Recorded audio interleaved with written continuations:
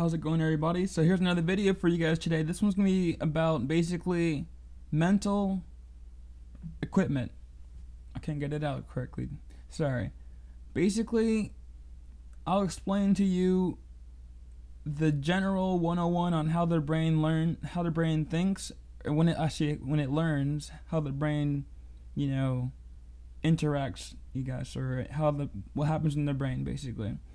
I'm gonna go over that briefly and then before that, and then after that, I'm going to be able to explain to you this concept called mental equipment and how it can benefit you in your life. Okay, so basically, the brain has to form neural pathways in order to learn anything. Uh, each nucleus in the brain basically forms forms out, I guess, the dendrites in the or the brain, or I guess the neuron, whatever the cell has to basically form connections between everything, and these connections basically are when the dendrites would shoot off from the brain or from the nucleus or the area of the cell and forms another pathway. And each time you you say you do the same tasks, there's going to be a stronger pathway, stronger connection. So for the most part, you can't learn unless you repetition or have a pattern that you can rely that you can rely upon to pull from another area. Say that you mastered physics. Now you can go into other areas in life and then pull back that physics knowledge from your patterns and your dendrites and you're able to you know say that guy tell you you can learn it on the on the fly just like that quickly because you had the knowledge anyway whenever you have a strong enough connection it becomes a double dendrite or double bonded dendrite, which is the strongest connection you can have. And this is going to be equating to basically your, your brain storing this as a motor skill. So you're now, you're not just recalling information, it's a part of your, just like moving an arm is innate, you're able to move, you're able to recall this knowledge because your brain has stored it like like the alphabet. You can recall the alphabet upon as a basic building block and the way you talk and the way you're you hear words or the way you process the way you hear words or even different languages. The alphabet there is the core essential. And once you have most people in the world have I guess I would say double double bonded dendrite when it comes to that area that they have a, such a strong recollection of it they can just easily bring it back. Of course, most uh, started from kids, you know, most people can do that. Anyway, when it comes to mental equipment though, here's the important takeaway.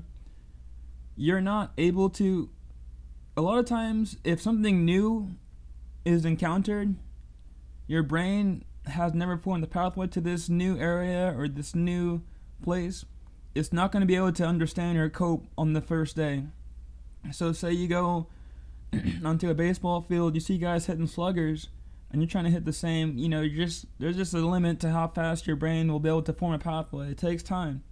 So you can't just wake up one day and say, "I'm gonna really be the best baseball player there is and go out there and then do sheer effort. You, even if you try the hardest you can, you still you still need time to form these pathways.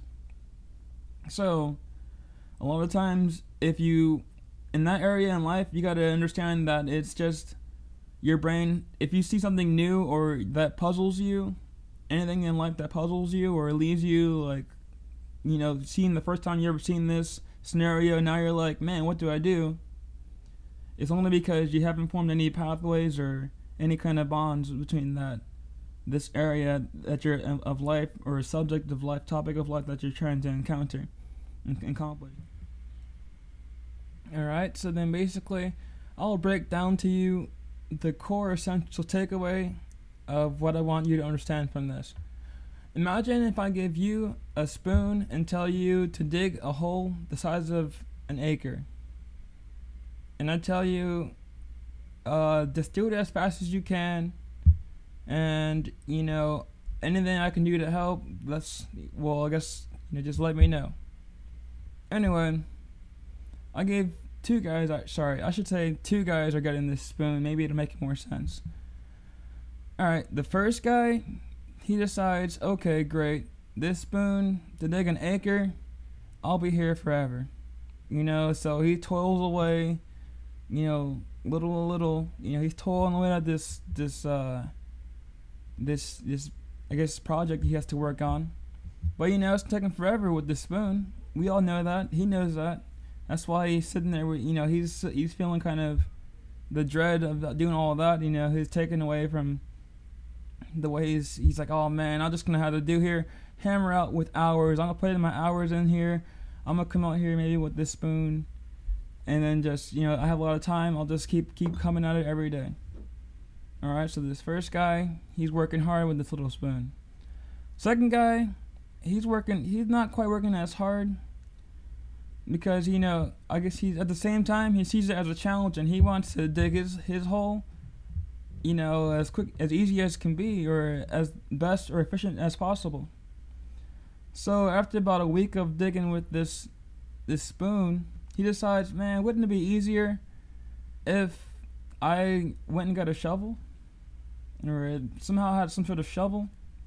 So before you know it he creates a shovel by actually maybe either with tools he found lying around or you know he he looked up online on how to create a shovel which i'm pretty sure will be everywhere on google if you even nowadays if you wanted to do that. That's pretty reasonable assumption anyway so he pulls together some of his you know, resources and he makes a shovel so now he's digging a little quicker it'll still take him forever though but you know better than the spoon you look at the first guy, he's still toiling away with the spoon.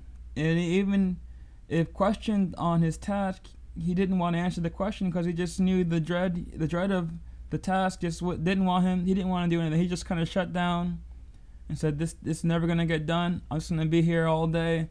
Oh well, keep the same spoon going." the second guy, though, he he's looking at it a bit differently. You know, it's about you know the equipment he's using. Okay, so it's true. Before long, these two guys converge. Maybe the first guy decided that he's better. He'd be better off if he had some, maybe some other equipment. Maybe he sees the first guy with the shovel. He might think it's unfair, of course, that he has a shovel. And he's like, "What? How can he has a shovel? That's not fair. All I have is this spoon." But it doesn't matter what you're granted with. It matters what you what you end up with, or what you end up, you know, doing to try to fix the problem. Before you know it, these two guys are toiling away. The second guy, you know, somehow pulls together enough of his knowledge and enough of his, you know, he puts together a lot of money. Uh, I guess not a lot of money actually, but for the most part, knowledge because they're not giving any money. They're just telling them to make this whole, you know, you know, basically this guy, first guy anyway, second guy sorry, decides he wants to actually make an excavator.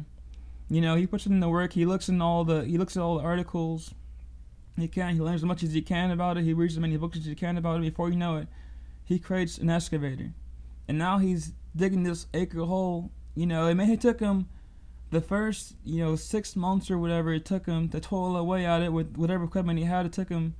It may have took him six months, but the rest of it with the excavator was a cinch. Know, he was done. The last, the last acre of the hole was a chump, a chump change almost at that point. Well, the first guy, still using the same equipment as earlier, the same shovel that he decided to upgrade to. He he decides that it's a hopeless task and that he'll never be able to dig the hole, so he might as well just keep things the way they are and don't change the status quo. So that story is just to show you, you know, and I'll correlate how the brain actually works compared to that story. In the beginning, you're initially given no information about new topics. And so that's a big jump, a big hurdle for your mind to even, I guess, overcome or you know, to tackle the task of where to even start.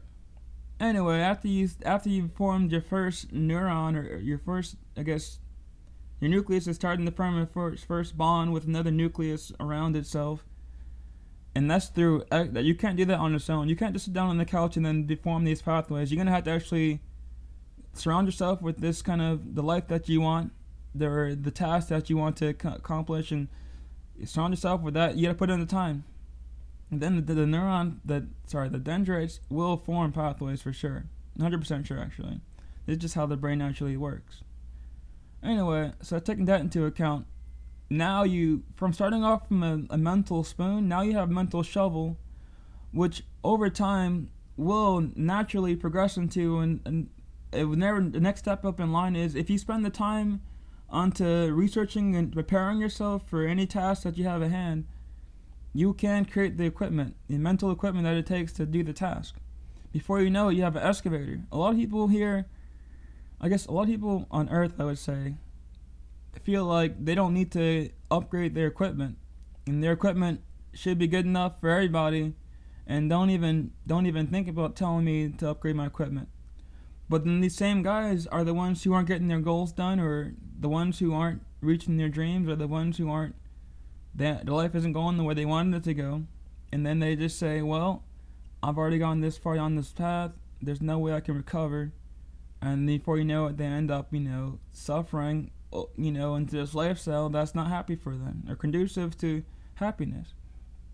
So I just want you guys to understand that analogy. Hopefully, it actually makes sense in your life. This is just one example, um, just to prove to you how the concept, you know, is sound.